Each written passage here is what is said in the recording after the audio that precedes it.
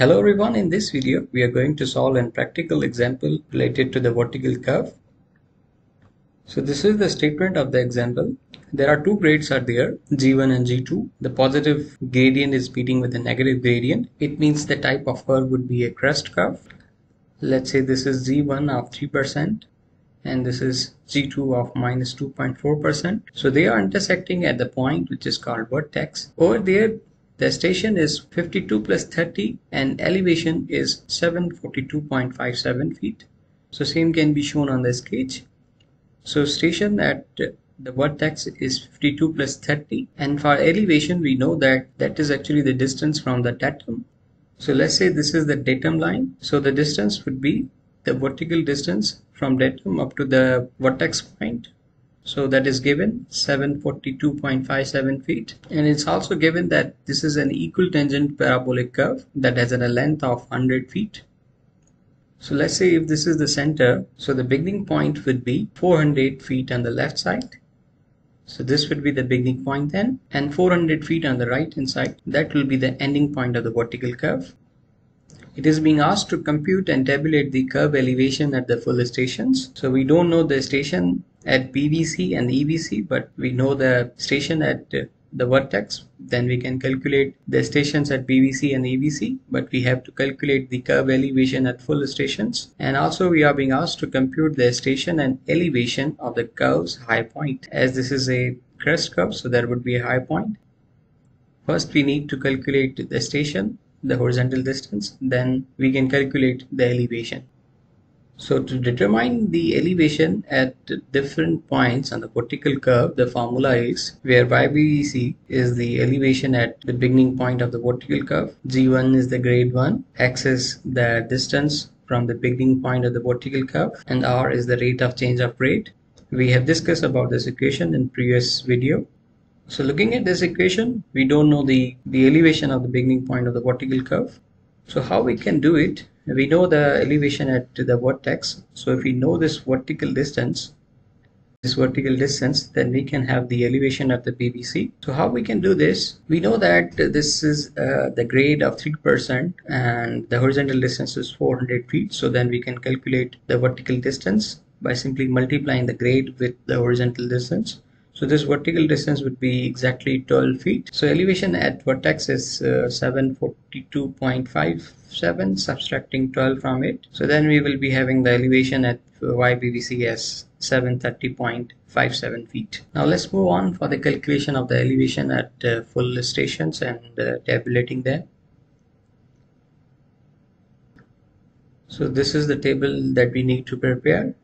So first we need to have the station at the beginning point of the vertical curve that we don't know right now but we can easily calculate by simply subtracting the horizontal distance from the station of vertex. So on subtracting the station at BVC would be 48 plus 30 so when we are on uh, BVC the x distance will be exactly 0 but uh, we have uh, the YBVC distance that is 730.57 x is 0 so this term will also be 0 here let me define the rate of change of grade which is actually calculated using this formula where g is grade and l is the length of the vertical curve. So when we do the calculations we will have the r value as this one. Since x is 0 at pvc so this term will also be 0 now curve elevation is actually addition of YBVC g1x and uh, r or 2x squared term. So adding these three we will be having the curve elevation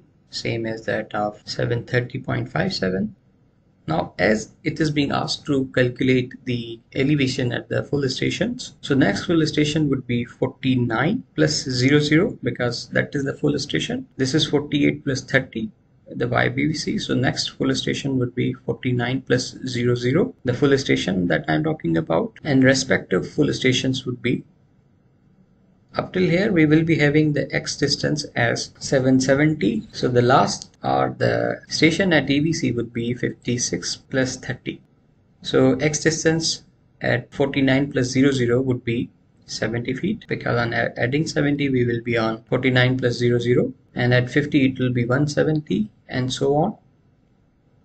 Up to 770 and the last one would be of uh, 30 feet so it will be exactly 800 and we know that YBVC is the one that is going to be constant at uh, every station so writing is same but g1x will be different because uh, at every station the x distance is different. So for the next station this will be uh, g1 extra and uh, this will be the rx square by 2 term and adding these three we are going to have the curve elevation at 49 plus 00 as this one. Similarly for the respective stations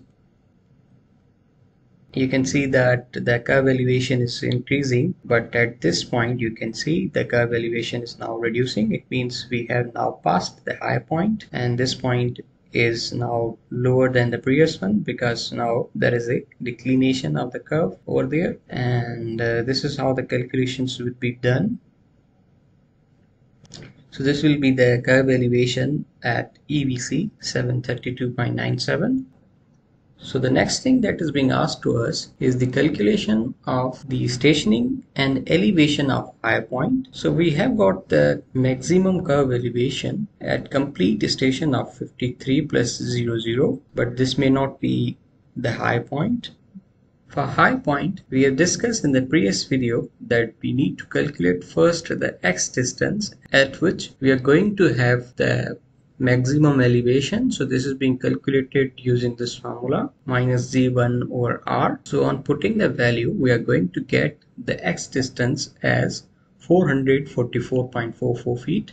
It means at a distance of 444.44 from BVC, we are going to get the high point. So now we can easily calculate the stationing of the high point by simply adding this x distance with the stationing of the BVC. So on adding, we are going to get the stationing of high point as 52 plus 74.444 feet. Now how we can calculate the elevation of high point?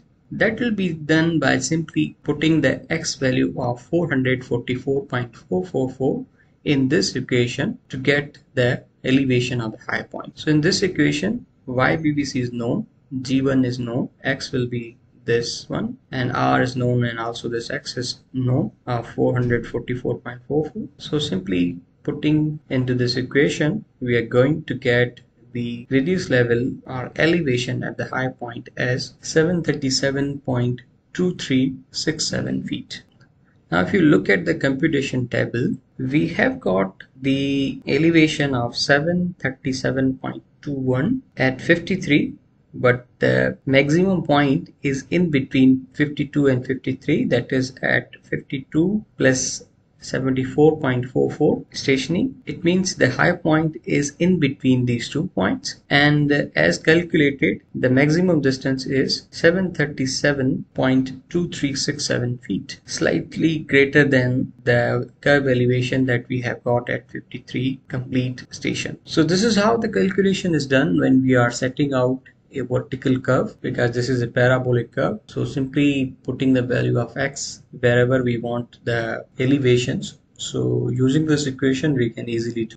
So this is how the calculations for setting out a vertical curve is done. And this is all from this video. I hope now you have got concept how to set out a vertical curve. Thank you for watching this video. I hope to see you in the next coming videos. Thank you